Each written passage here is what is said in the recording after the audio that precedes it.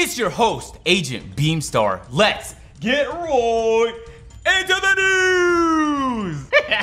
Yo, the amount of drama and news that dropped today alone is massive. NFL 2K is coming out, whole bunch of juiciness drama in the community. But before we get to all of that, I have an announcement I am so excited to make. For the last few months, me, Davis, Phantom, and Duke have been working really, really hard to come out with what we're calling AMP.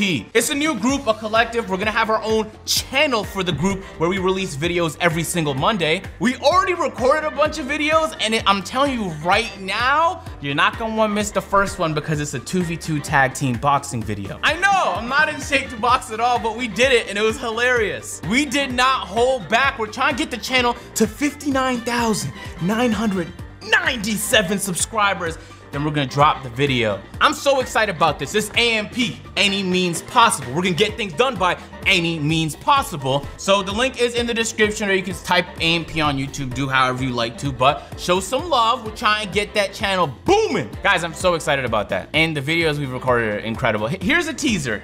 It's all about the motherfucking money.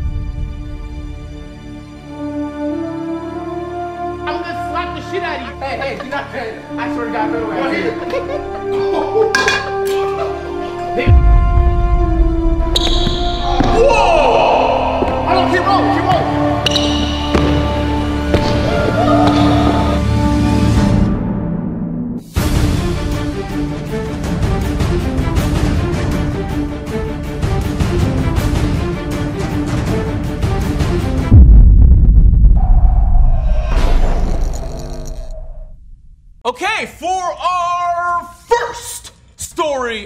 the day. I actually don't know what it is. Oh, you might have thought that NBA 2K20, because it has the same neighborhood and it's not really getting the updates it should be getting, that the game performed poorly. I thought that 2K19 would have most likely outperformed it, but it turns out that's not the case because some statistics came out saying otherwise. Per NPD, in the US, NBA 2K20 had the best opening month ever for a sports game already the best-selling title of the year. NBA 2K19 sold 12 million globally, and the series is close to 100 million total units. Growth from 2K20 will be driven by unit sales and recurrent spending. So, uh, Yep, it's another year, guys, of NBA 2K getting another career year in terms of performance. I'm not gonna lie, at this point, they just keep surprising me. Because in 19, we kind of knew it was gonna happen, but I don't think nobody expected that to happen 2K20. For our next story of the day, if you were playing a game of NBA 2K for $100,000, how intense would it be? The answer is incredibly intense. I've played games for $500 where I was sweating bullets. In fact, I usually sweat bullets when I play for free. In the finals of NBA 2K's Global Championship, where $100,000 was on the line, this happened. Patterson, shot clock running down. Leonard again. Paul George on the cut. And he can't get it to go. 30 seconds left. Giannis, the Middleton. And it what? takes a jump shot.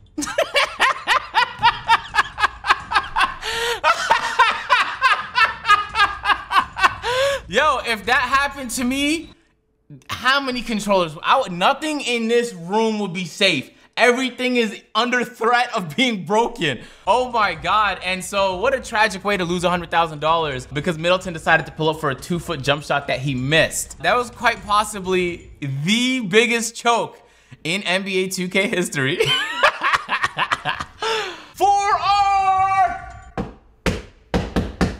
news out of nowhere. We all just woke up. Turns out NBA 2K is not playing no games because they're coming out with an NFL 2K. Surprise everybody. That's something that the communities have been asking for for an infinite amount of time. For those who don't know, NBA 2K used to have an NFL counterpart, of course, but because EA struck a deal with the NFL in the mid 2000s for exclusivity, NFL 2K was no longer a thing. So it wasn't that they decided to stop making games, it's that they had no choice but to stop making games. And so for the last decade and a half, EA's been uncontested in the football department. Obviously, we know EA's been trying to get into the NBA department with NBA Live, but they've been failing miserably. So I guess 2K's taking this as an opportunity to come out with their own product to compete with what EA has going on with Madden. Okay, so iPod King Carter released this tweet here saying NFL 2K22 with a whole gang of question marks. And he showed some screenshots here of a press release that 2K launched, and in the press release, they say this. EA Sports is the exclusive publisher of NFL simulation games,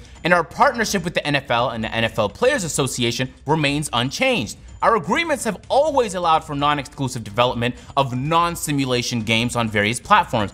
Our commitment to NFL fans, which spans almost 30 years, has never been stronger, and we're having our biggest year yet. Madden NFL 20 is the most successful game ever in the franchise, and new modes like Superstar KO and la la la la. So basically, 2K found a workaround for competing and taking market share from what EA's been having going on for the last decade and a half. So if 2K can't create simulation football games, they're gonna create arcade football games. But that's not out of nowhere neither because those of you who've been playing video games in the mid 2000s remember a series called NFL Street. It was incredibly popular. And so the same way that 2K bought NBA Playgrounds and called it NBA 2K Playgrounds 2, I think they're trying to do the same thing here and take the arcade market of football the way they tried to take the arcade market of basketball. I think it's a smart move. I deadass believe that arcade casual sports games are still a thing. Even though there aren't many titles being developed for that genre, I think it has the potential to blow up. Now, we don't know a lot, so I'm not gonna gas it up, obviously, but I'm excited to see which lane 2K ends up going with this. Just for some more context, it was the story of the morning because it was trending on Twitter.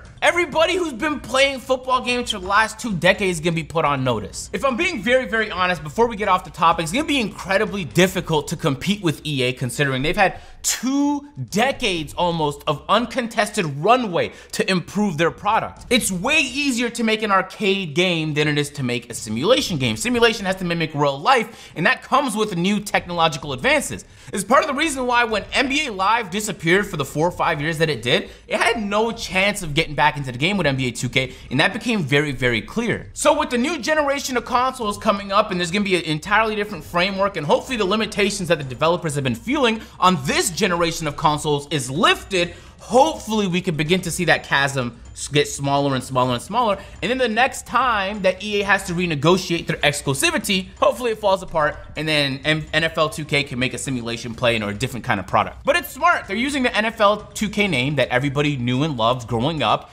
and they're attaching it to this probably entirely new product just so people get excited and hyped about it. It's a smart business move. Anyway, I'm excited to see where it ends up, but also it is 2K, so I'm hoping they do the thing correctly. It would be cool if we got like a My Park version of NFL. That would be wild if you could just walk around different. Oh man, that would be.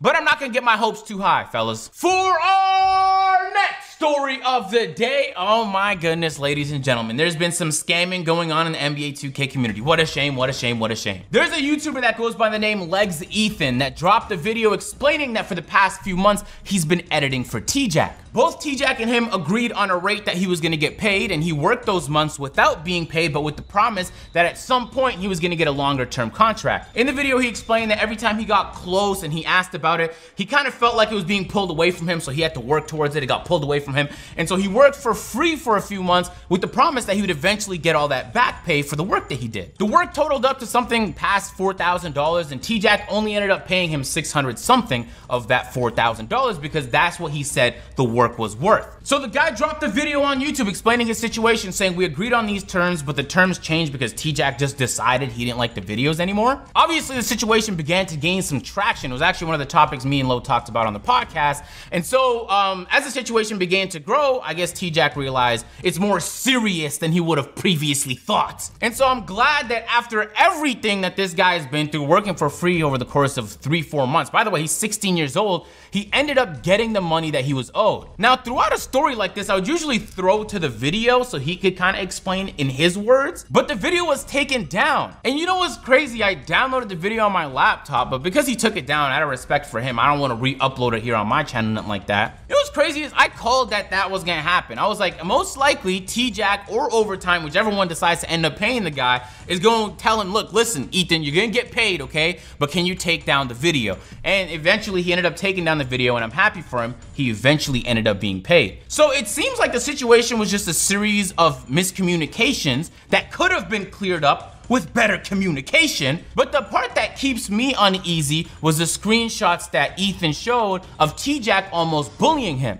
saying things like, you can't work for another content creator if this word gets out. Almost trying to silence him. I'm not gonna pay you, but if you say anything, I'm gonna make sure your career doesn't move forward. And that is ludicrous bully behavior from a guy who does not have a, enough clout to have that kind of ego, right? Like if it was like the biggest YouTuber saying some like that, you went a little far, but you are the biggest YouTuber. You could potentially make something like that happen. But T-Jack, not only do you not have pull in the 2K community, but that's some corny goofball my guy. So I'm happy the guy ended up being paid, but I still feel some kind of way that T-Jack would treat an editor like that. That's not any way to treat anybody that's been helping you out for the past few months. Or a human being, generally speaking, right? You don't want to treat human beings like that. Toasted put out a tweet saying, in all honesty though, people like T-Jack are the reason why editors and designers want to leave the 2K community. The majority of them pay like shit, or sometimes not even at all. The people who do it know who they are. there was even a funny there was a funny Twitter page that was created called Did T-Jack Pay His Editor? And uh, until he did end up paying his editor, there was daily tweets. so I'm glad that even though it is like an unfortunate situation for both parties involved, that we were able to make light of it and get some smiles out the situation. There's been an update to the T-Jack situation I just want to cover briefly because he just released his own video where he briefly, very oh so briefly, talked about the topic. In the video, he says this. That's what I'm kind of trying to do. You know, all I'm trying to do is, um, like I said, you guys already know the vibes, but if there's anything that I did out there um, for you guys to be mad at me or anybody to directly be mad at me, I just want to say that I apologize in advance. All of, like from here on out, I promise you guys that I will make sure that I don't make any mistakes. You guys look at me as T-Jack and as a YouTuber, but I am human as well. I do make mistakes, and you know all I can do from those mistakes is learn and continue to be better. Um, so yeah, I mean, I can't really talk. I know you, there's some of you that want to know the little situation, um, but I can't really go into details. Um, I can't actually at all. I'm not allowed to. But I just want you guys to know that that was a big miscommunication, and uh, it will not happen ever, ever, ever again. Boom! I'm fully aware that people make mistakes, and I'm happy that he at least apologized for what happened and he's saying he wants to improve. Because at the end of the day, that's all anyone really wants. Nobody's trying to end careers or finish this person off. If you can learn from the thing and then not do it again, everybody stands to benefit from that. So I rate him for, for saying that right there. It seems as though, based off of the tone in the video, that legally he's not allowed to say anymore. He must have signed some kind of contract. Maybe it has something to do with overtime. I'm not sure. Yeah, because the whole thing did look like a miscommunication. This person told the editor one thing and T-Jack said something else. This was promised by one person and then not by another. So if we're gonna end this story off on a positive note, T-Jack, good stuff on paying the editor what he was owed, and congratulations on apologizing. A lot of people wouldn't have done that. And uh, obviously, it seems as though you can't talk about it in the detail that you wanted to. But um, the apology itself will suffice. The editor got what he wanted. At the end of the day, everyone's better for it. For our next story of the day, Chad Johnson, an NFL, an ex-NFL player, had a funny tweet he put out. It's not really a story, but I thought it was funny. You guys might want to see it. TMZ tweeted saying, Chad Johnson taken to the hospital, says ex-girlfriend destroyed his life. you might be wondering, how could this ex-girlfriend have destroyed his life? Well, Chad Johnson explains in his own words, I'm okay, she just deleted my My Player on NBA 2K20. hey, Chad Johnson, man, we've been there, my guy, okay? We've all been there, okay? I'm gonna let you know right now, you have to hit up 2K support. They will get you your player back, all right? So don't trip. Your life is still in check, intact. this is a story. You should have made a video, Chad. You didn't know that those get millions of views on YouTube. For our final story of the day, NBA 2K closely works with Make-A-Wish. Yeah, that's not news to most people because they've done plenty of great things for Make-A-Wish kids and incorporated them in meetings or scanned their face into the game or just showed them love in a way that I feel like more people need to appreciate. And they did another instance of it recently. There's a content creator now by the name of the Buddy Boy 5 who um, was working with Make-A-Wish and got connected with NBA 2K. And Ronnie and the crew plugged him with not only a face scan, but with the logo in the game. And it's an original logo, by the way. They didn't just throw a random like VIP logo on him. This is what the Make-A-Wish logo looks like in the game, which by the way, looks infinitely better than every other logo. That's dope. And so the story was great and it was positive. This kid got this opportunity. He got verified in the game, which is great. And then he began to see more success on his YouTube and his Twitch. He put out this tweet. Yo, thank you guys so much for 300 YouTube subscribers. Been a crazy last 24 hours, but at the end of the day, none of this can ever stop us from grinding. I'm dedicated more than ever. Spam up your favorite emoji in the comment section. Let's go. And he linked here to his YouTube channel where he just hit 300 subscribers. Things got even better for him because he put out a follow follow-up tweet saying, we hit 2,600 followers today, man. I'm so blessed, got the greatest supporters ever. Flex emoji. Was a rough day, but turned out to be an amazing day later on. Shout out to everybody who supports me. We going crazy with a fire emoji, linking to his Twitch where he got 2.6 thousand followers. Agent, how could this amazing story go wrong? This is so positive and wholesome. Uh, leave it to the 2K community, guys, because Ronnie put out this tweet. Oh, I should probably preface it because Ronnie didn't preface it in the thing. Oh, his his account got hacked. And so he lost his player and somebody was walking around with his hacked player on the My Park. Like days after it happened, he lost his account. Ronnie put out a tweet saying, I have to keep reminding myself that a few people aren't representative of our great community whole, but I don't know how anyone on this planet would feel good hacking a kid from Make-A-Wish. We are going to make it whole for Will, but this does not sit right with me. LD2K responded to Ronnie saying, We all have our fun, but I'm super proud of the work you've done with them in helping create some memories with those at Make-A-Wish. Some of my most memorable career highlights come from being involved. You're right about this as well. So it's like, oh man, this is tragic. This was such a great, wholesome story, and then it just took a left turn for no reason. I guess the only positive I could think about the situation is that of all of this, he's gonna get more clout out the situation now. And so most likely his YouTube and his Twitch is gonna see more attention. I'm gonna link both of those in the description. I recommend you guys go watch his content, show him some love. So after all the shenanigans went down, he was able to get his account back and he put out a tweet on Twitter saying this. I just want to take a minute and thank Ronnie. This man went out of his way to get me my account back and worked so hard for many hours. He is an amazing person and the most genuine person you will ever meet. Without him today, would have been very tough. I love you, Ronnie. Now, Will, I don't know about the genuine and the nice part of the story that you just said right there. But I will say this, in the events I have went to a 2K, Ronnie even tried to connect me with Make-A-Wish because I, he spends a lot of time trying to make kids' dreams come true. Now, I will never understand why it would be anyone's dream to meet Ronnie, me personally. But I would understand if that was someone's, no, I wouldn't still. I still wouldn't do that. But if it's their dream to be involved in the developing process of NBA 2K, to make that happen for them and to go out of their way, listen, we criticize Ronnie 2K a lot here on this channel, but right here, we're gonna have to give him his credit, all right? Because he definitely deserves it. I'm glad everything went well, you know, after it was all said and done. Will, I hope your channels take off and I hope you continue to grind. You're a strong guy. And everybody in 2K community, let's take a lesson from this, man. Let's get some more positive stories out there. Because in these drama lists, whole lot of negative stories, not as many positive stories, and I wanna cover some positive ones. If you guys enjoyed the video, drop a like. Remember the AMP channel link in the description. Go ahead and follow that. We're trying to get to 59,997 subscribers. Anyway, uh, I'll catch you guys in the next video. Agent Beamstar out.